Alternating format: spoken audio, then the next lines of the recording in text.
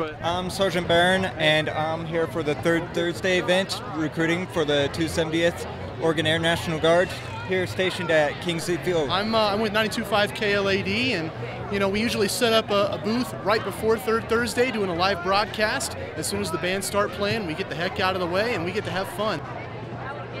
Yeah, I'm Doug Grace, commander of the American Legion Post 8 Klamath Falls.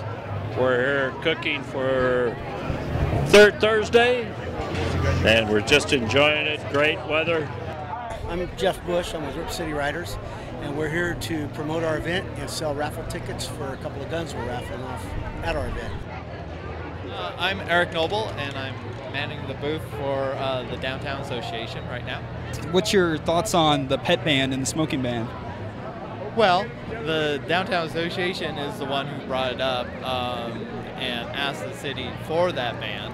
Um, we think it's a good idea to do it, and we think that you know it's not only stressful for some people to see the dogs down here, but it's also stressful for the dogs to be here in some cases. So that's why we asked for it, just for safety's sake on both parts.